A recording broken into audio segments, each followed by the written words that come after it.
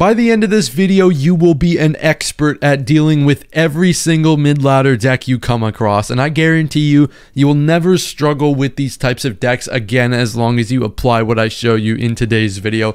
And this is going to be the best mid-ladder video I have ever made because I'm going out of my way to give you guys the hardest matchups that I came across. And I, I've been um, I've been thinking that I would record for about like an hour maybe, so we're going to, yep, if you're seeing this match, this means this is a uh, mid ladder deck. So I, I have to re record this intro every time I face like Hog EQ because we're not putting that in the video. so this is what we're, oh my god. Okay, this is our first target, ladies and gentlemen. Oh my god. this is, is exactly what we're talking about. Okay, so we have Wizard, we have um, Executioner, and we have Minion Horde as his first three cards played, which is just ridiculous. But um, I'm just going to go over my plays and exactly why I'm doing what I'm doing, and hopefully you guys can replicate my strategies because I know just watching isn't enough. You kind of have to understand what I'm doing and all of that lovely stuff. So um, I just noticed, I think this guy's name is from like the South Park thing. Timmy! Timmy! Timmy! Timmy! Timmy! Like, here's a Mother Witch too, bro. I'm sorry. I'm sorry. I'll, I'll tone it down a little bit. So he has four air counters that we know of. And I'm to assume that that is probably enough. Because four, you know, normally I would assume three. But four is just ridiculous. So I'm to just assume he has four. Now, priorities here. I'm barbarianing on the executioner because it's going to do way more damage than the mother witch does, I think, because the mother witch is already pretty low just prioritizing what we're spending our defensive resources on. But yeah, I mean, here we're just going to uh, analyze the situation. We don't have to deal with, okay, um, that's just a fireball value. Don't have to deal with a Mother Witch or a Wizard right this instant. So that's kind of the key. Usually I like to go with solo balloons and stuff, um, but that's complicated. Uh, it, it didn't turn out that way in this matchup. Why? Oh my god. oh, we got a mirror. Okay, so that's important to keep an eye on. He does have a mirror. Now, this is the thing about these types of decks. They may look nasty, and they are nasty. Don't get me wrong. We're probably not going to break through this guy. We are zapping and fireballing the wizard because that is what's on my balloon. Now, that's the biggest thing. Um, you may... Oh, that sucks. Oh, we could have got that second hit there. But that's the biggest thing for me is when I look at a guy who has four air counters, my biggest worry is how what or like I guess most people's biggest worry as we're using a balloon to counter this minion horde here, which I think is the best play because they're we didn't we can't use a fireball in that situation. We didn't um it wasn't the right play because we didn't we didn't even have it at the beginning, and also we have to save fireball for for like his barbarians and and there's too many things I need to fireball that I can't save it on defense. But yeah, that's the main question people bring up is what do I fireball when my opponent has four things for me to fireball? And for me, um, it's what is targeting the balloon. And now, um, if we're relying on um, our balloon to get to a tower, maybe to get a little bit of chip damage, then we're going to need to uh, be dealing with the um, like the wizard there because he was on my balloon and the executioner wasn't. Um, but see, right now it's mainly a defensive thing. These guys' decks are really weird. Usually they don't have win conditions. He mirrors that, so we're just going to apply opposite lane pressure because now he's going to have to deal with both lanes. That's just what we're going to do. And as you can see, Skeleton Dragons did a ton of damage here. You've got to remember, these guys are not very good. Okay, you're you're you're facing guys playing these types of decks for a reason. They're not very good at this game, so you're gonna have a lot of leeway. But that's the main thing is once we get to a certain point in the game where you realize this guy has four air counters. Damn, I'm not breaking through this guy. You can't let him break through you either. And that's much e much easier done than said. I mean, like, because these guys have no win conditions. So literally all we have to do is not give this guy a counter push. Like, um, see, like the two wizards here is a bit of an issue, but we should be able to clean up pretty much, I think, both of them with that bomb. Oh my gosh. That's the biggest thing here. We are going to make sure our defense is the number one priority. I don't care about breaking through with the lava. My lavas are simply to distract him so that he can't go in for a big push. And so he has to spend elixir on defense. That's the whole reason I'm going with lava. I mean, obviously I'd love to get damage, but let's let's let's face it, I'm not going to get damage. This is the biggest thing we're doing here is you can just see he's not getting more damage than me. We got that one balloon connection at the beginning of the game and we played off that for I mean, we, we did get a little bit more damage, but we kind of played off that for the next five minutes. four minutes. It's just how it rolls. So that's a beautiful example against a guy with four freaking air counters. so also, I'm doing this on the trophy road because it's insanely hard to find mid-ladder hard counters that aren't on the trophy road unless you're like in the slums of like 1500 ultimate champion trophies and I'm not going to far fall that low so we're not going to do that but um, super ratone coming in here and I, I mean if you are seeing this again if you're seeing this this means it's it's in the video so that's a good thing because um, I've pretty much I've been going through them cutting out all the the ones that aren't mid ladder decks and so we've got an executioner here okay that's nice so it looks like we'll probably keep this one in then unless it's hog xe because I don't really think that's a mid ladder deck so boom balloon opposite lane that's kind of what I'm doing here and you can see there's a reason for that right I can see he is two air counters. If he has a third air counter, he has a third air counter. We'll deal with it. We'll make sure we realize what he has, and then we'll play off that next time.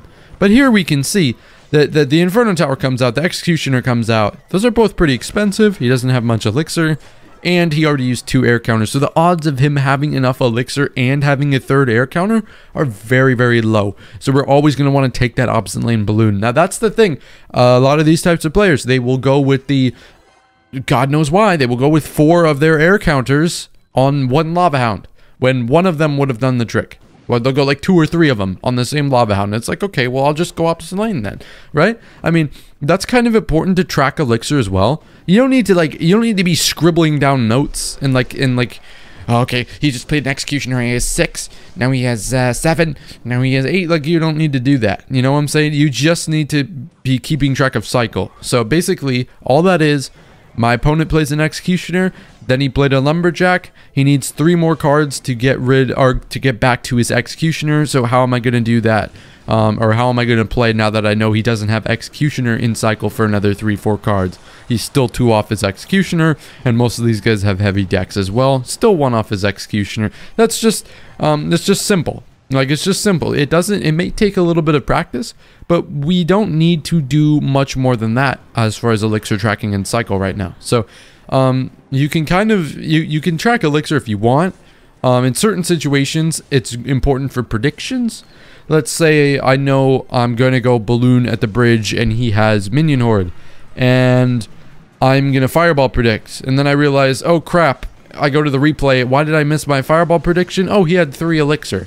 Like that's simple. Like you you have to be able to um, say he nobody's playing anything he plays an executioner you know he's at five. You don't need to know his exact amount but it's simple stuff like okay he just spent a lot of elixir in one lane and i don't think he has enough to defend the other lane because that's not how elixir works you know stuff like that. And again we're stomping on this guy with a bunch of weird air counters because they don't really know how to play the game and hopefully we will after watching this and of course, guys, let me know if you have any questions in the comment section. Um, I will be happy to answer anything that doesn't get addressed in this video because hopefully, I mean, hopefully I'll address most of the things, but um, if I can't, then that's um, my fault and I'll do my best to try and uh, like answer those questions. But as far as starting plays go, I don't really like the Barbarian split, but I was kind of feeling it because I didn't really have another play there. Usually, you want to let your opponent make the first play. So do as I say, not as I do. I would not start with Barbarian's first play because then we get into situations like this, and it's like, okay, well, oh, gee, oh my God. Okay, well that wouldn't have mattered anyways. This this is what happens when you. This is a perfect example of what not to do.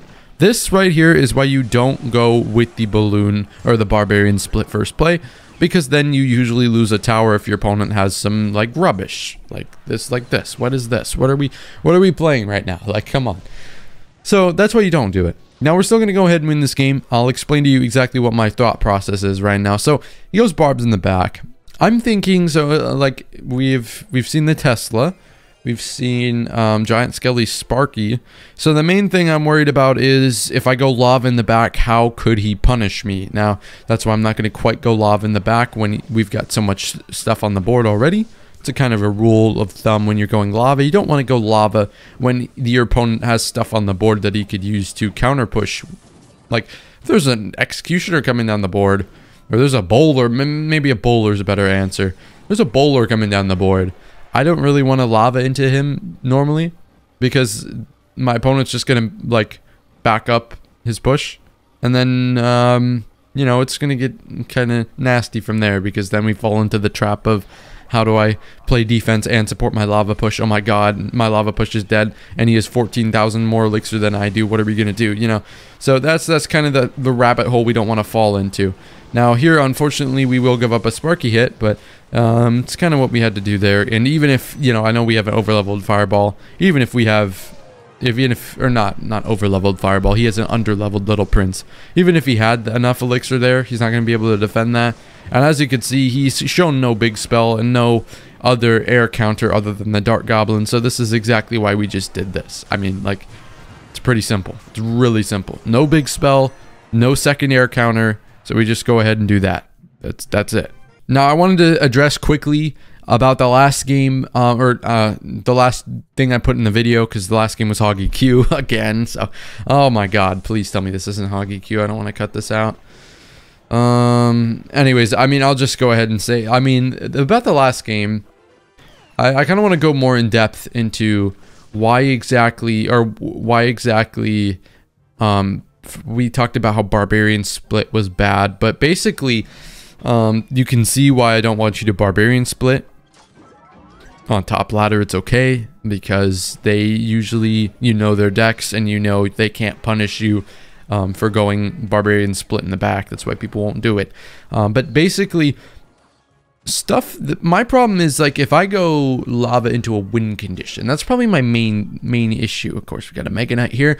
Uh, we're actually gonna show you how to full counter this with the Tombstone, but um, the Mega Minions obviously just playing it just in case he has like yeah okay, so in case he has something like that that he uses to kill the Tombstone, the Mega Minion will prevent him from getting any damage. But yeah, if I go lava into a, a giant, okay, and then he goes graveyard, and I try and defend the graveyard with barbs all he has to do is go minions or bats on my lava, and the lava's dead. And so I just fed him four elixir, a bunch of damage, and I am just down. Elixir and damage. So like that's exactly why I don't want you to go lava into stuff like that. Stuff like like sometimes it's different. Like the lava into a knight or something is different. Cause that's like that's like something you can kill easy. That's not like a giant or a golem or something, you know?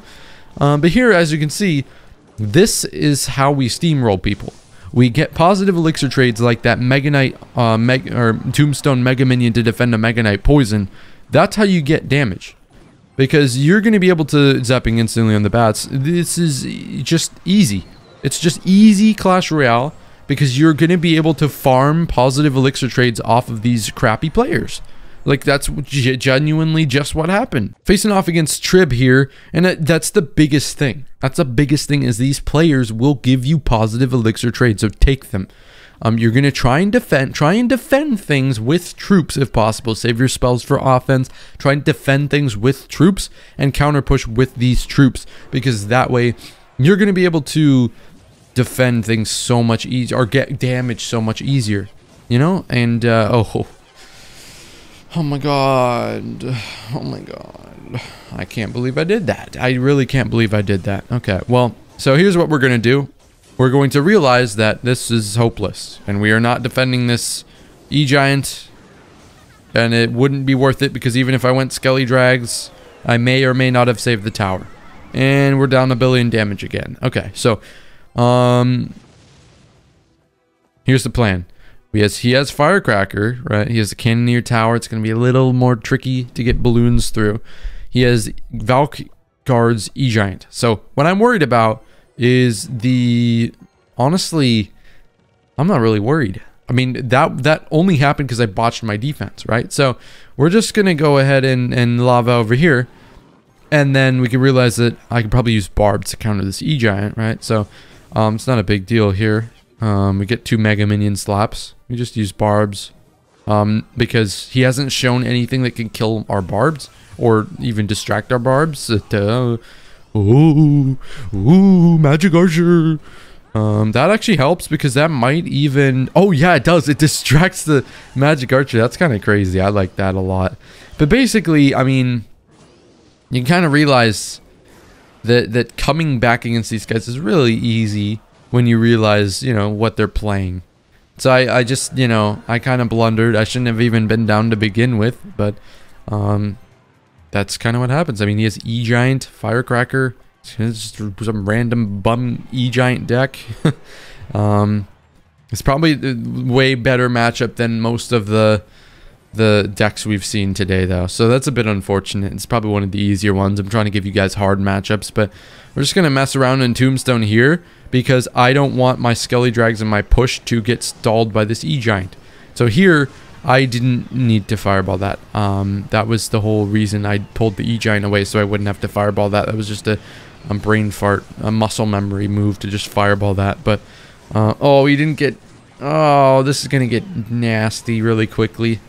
Um, yeah, so basically why I pulled it over there is because I knew that it was going to allow my Skeleton Dragon to help out against the Magic Archers so I could fireball the Firecracker, except I just, like, fell asleep at the wheel and didn't fireball the Firecracker, which is the entire reason I went with that play to begin with. So I was just stupid. I don't know why I did that, but that was a good tombstone, and that's the reason I did that, is because when we're in a situation where um, usually you always want to go opposite lane against E-Giant, right? Because they you don't want to let them go E-Giant into your push because it just kills your whole push and turns into their push. But um, in situations where we have to, like this situation, stuff like that helps out if you want to get your troops onto their defenses. All right, so we got like Krek. Um, he's going to give us a good luck. We'll give him a good, we'll give him a good little mic drop, and uh, it is going to be log I mean, I don't want to say log bait yet because it's just a goblin barrel. It could be hog rider goblin barrel. Who knows? But um, in case it is log bait, um, I know log bait is one of the toughest matchups at top ladder. It's nearly impossible, but you guys are going to be able to, looks like log bait, beat log bait players from all different levels. I think you're going to be able to beat log bait, um, especially if they're not like a top 1000 player. You're going to be able to beat log bait um, which is popular, but you're not going to be facing the greatest log bait players. So basically, the whole strategy, which only works against like players who aren't really good, you kind of want to overwhelm them um, with with with either lava skeleton dragons or lava balloon, force them to rocket, and then you're going to, so like, I don't know why he's not rocketing. Uh, this doesn't make sense to me. Um, you're supposed to, usually all the good players will rocket here. It's not really, I don't know why he didn't rocket. We're going to take his whole tower. But, I mean, that's what's going to happen. So that's what's going to happen. So basically, you go barbarians in front of your lava push um, when he has Inferno Tower. And then you fireball this princess. Or you go lava and then skeleton dragons and then barbs the opposite lane. Uh, you only want to go Evo Barbs if you're going opposite lane, or go Balloon opposite lane. The whole thing you're doing is either using Evo Barbs or Balloon opposite lane of your Lava Push to make him freak out and start defending both lanes, and he's going to mess up. That's how it works. Valdson giving us the E-Barb titty emote. You already know this is going to be great. Peck in the back first play. I know this is going to be scuffed. Pekka in the back first play. There's no way that this is anything resembling normal, bro. There's no way. We're just gonna we're just gonna play support troops into this because he's probably gonna try and back up his Pekka. I didn't know he was gonna try and back it up with a Mega Knight, bro. what are we doing here? Really? Really? We're gonna Pekka Mega Knight the first two plays of the game? Are you for real? Yeah, well, I mean, certainly, probably won't get much weirder than that. I mean, Pekka Mega Knight's pretty weird already, so probably won't get much too much stranger. Oh my god, that's a mirrored Mega Knight. We're going to use the anti-Mega Knight tombstone placement here, but my god. His first three cards have been a Pekka and two Mega Knights. That's actually ridiculous, dude. Pekka and two Mega Knights as his first three cards is crazy. Okay, so we're going to... Oh... Sadly, I do not have any more tricks up my sleeve to deal with the E-Barbs. this guy's elixir deck is like 6.3, bro. His cost is 6.3 elixir. I so unfortunately have to give up my tower to these E-Barbs. And of course, bro, I'm genuinely concerned for this guy's well-being. Like, your first five cards are all five elixir or more. That is ridiculous, dude. Like, like I, I actually don't... This guy averages like three cards a minute. That's actually insane. But like we had to tower trade off the E-barbs because I didn't have anything there. And so basically it's looking great for me because I already had damage up on one tower. So a tower trade for me was like, hey, you know what? We're just going to be in the same spot as we were before, except now I have even more damage because my Mega Minion is literally him. Um, I'm going to pause on a lava for just a second. Actually, double elixir's hitting, so we're not going to pause. In single, I wouldn't lava there. He's going to go Mega Knight here and... Okay, well this should be oh. Oh, okay. I was not I was not ready for that. I was not ready for that. Oh, oh Jesus, he's freezing it? Really? Really? You, you're not going to freeze the You're going to freeze the the barbarians? I don't really understand that. I really I don't I don't quite understand that play. I really don't. I got a little scared for a second there, but like dude, this is like like he hasn't even played all his cards, has he? Am I tripping? Alright, well anyways, I mean that was the mid ladder video for you. Um we ended it with Mega Knight P.E.K.K.A. E-Barb's Executioner. It's kind of weird, but I hope you enjoyed the video. Make sure you like uh like the like the video. Let me know if you guys enjoyed it. Um anything I can help you with in the comments, let me know. And uh I'll see you guys. Oh my god, we get to the pancakes arena. Hell yeah.